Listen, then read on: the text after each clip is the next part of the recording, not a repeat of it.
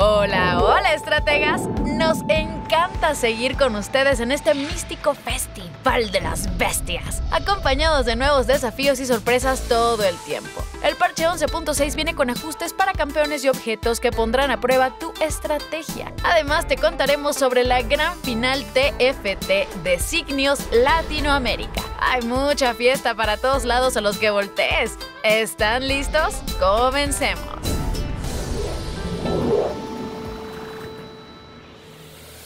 Con tantas poderosas opciones de campeones, la competencia es cada vez más cerrada. Pon atención para que puedas escoger a los indicados y tu estrategia sea la envidia de la convergencia. Vamos a ver los ajustes que recibieron algunos campeones en este parche. Empezando con esta campeona, Lulu recibe una pequeña debilitación en sus poderes mágicos. Esta adorable Girdle ya no podrá usar su habilidad dos veces en la misma unidad cuando se activa con el rasgo de mago. Pero no todo está perdido porque dependiendo de las circunstancias, este nerf ayudará a que su aturdimiento le llegue a más enemigos. Sigue enormizando tu estrategia. Los tremendos puños de acero de Vi también han recibido la furia de los espíritus por lo que disminuye su efecto de reducción de armadura. Pero suponemos que los espíritus tampoco estaban tan furiosos porque esta debilitación se compensa con un aumento en el daño base de habilidad, lo que quiere decir que Vi ya no reducirá tan fuerte las estadísticas de enemigos con objetos de armadura, pero llegará a rematar con facilidad a los incautos que anden por la arena sin ellos. Aguas con esos puños. Algo ha de haber hecho Seth para ganarse el favor de los espíritus de designios, porque en este parche recibe un aumento bastante bueno a su porcentaje de robo de daño. Ahora su robo de daño de ataque es el mismo si es una estrella o tres estrellas, así que será un buen protagonista durante el juego temprano. Pásanos la receta de tu éxito, Seth.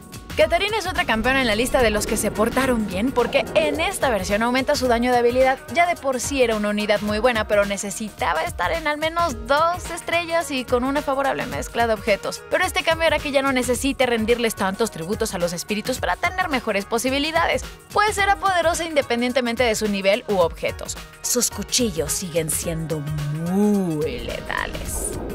Olaf es simpático, atractivo, tiene una barba envidiable. ¿Qué, ¿Qué dijiste? ¿Que está siendo de los mejores? ¡Ay, no nos habíamos percatado! Ah, bueno, bueno, ya en serio. Sí nos habíamos dado cuenta. Actualmente Olaf es uno de los mejores carreando a su equipo, por lo que recibe una disminución en su daño de ataque. Es una muy pequeña disminución porque es tanto su poder que se resistió al nerf. Tendremos la mirada puesta en él para ver si requiere otro ajuste más drástico.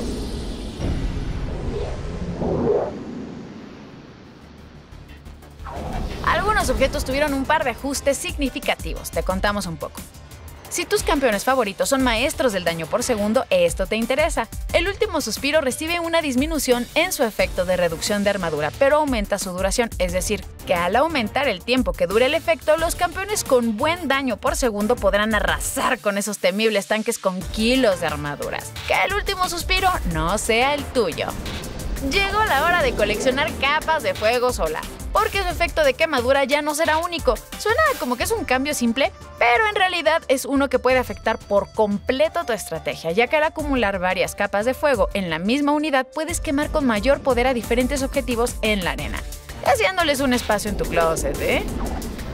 El momento que tanto esperábamos llegó. La gran final TFT de Signios Latinoamérica sucedió. Y aún me siguen temblando las manos de tanta emoción. Los mejores 8 jugadores de la región compitieron para ver quién era el verdadero ídolo de la convergencia. Y fueron Goat Lion de Costa Rica y Pi Hat de Perú, quienes arrasaron en la competencia. Y no solo eso, sino que obtuvieron un pase para representar a toda Latinoamérica en el Mundial, donde habrá 250 mil dólares en premios y el honor de ser el mejor. Muchísimas felicidades, ya queremos verlos competir a lo grande. Ahí lo tienen, estrategas, ajustes en objetos y en algunos campeones para que renueves tu estrategia y podamos seguir disfrutando juntos de las celebraciones. Estuvo bueno, ¿no? Yo ahorita mismo ya estoy armando mis nuevas tácticas. Recuerda, como siempre, revisar las notas completas del parche 11.6, las encontrarás en la descripción de este video. Y nos vemos en la convergencia.